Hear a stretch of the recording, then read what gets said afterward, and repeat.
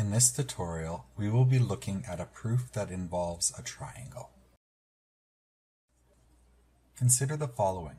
We are given two statements and need to prove that ABC is an equilateral triangle.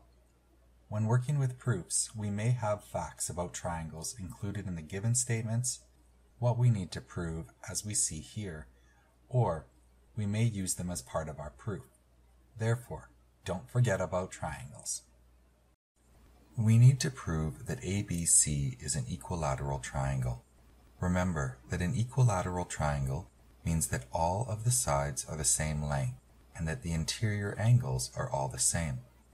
Here, to prove that ABC is an equilateral triangle, we need to show that angle 1 equals angle 2 equals angle 3. Now, start with your given statements. Remember to always write down the statement and reason. Next, the fact that other angles are labeled suggests that you will need these as part of your proof. Therefore, let's begin by writing down what we know. We know that angles on a line add to 180 degrees. So angle 5 plus angle 2 equals 180 degrees. Angle 3 plus angle 4 equals 180 degrees. Now, I see two statements equal to 180 degrees. We can make them equal to each other by substitution. At some point, we need to show that angle 3 equals angle 2. Therefore, let's see if there is a way to remove angle 4 and 5 from our statement. We can replace angle 4 by angle 5 by substitution. We can do this because we were told that angle 4 equals angle 5 as one of the given statements. Now, we get angle 3 equals angle 2 by subtracting angle 5 from both sides. Remember, we are trying to prove that angle 1, 2, and 3 are all equal. Here, we have shown two of those.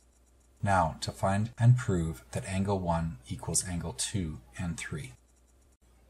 Because we've already developed a strategy of substitution and subtraction that works with angles on a line, we should be able to do the same for angle 1.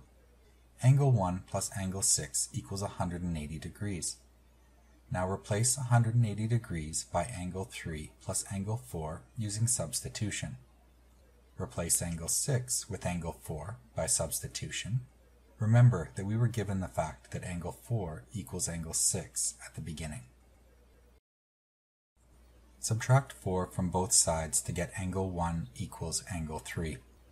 Because angle 1 equals angle 3, we can say that angle 1 equals angle 2 by substitution. Finally, we have shown that angle 1 equals angle 2 equals angle 3, and therefore ABC is an equilateral triangle.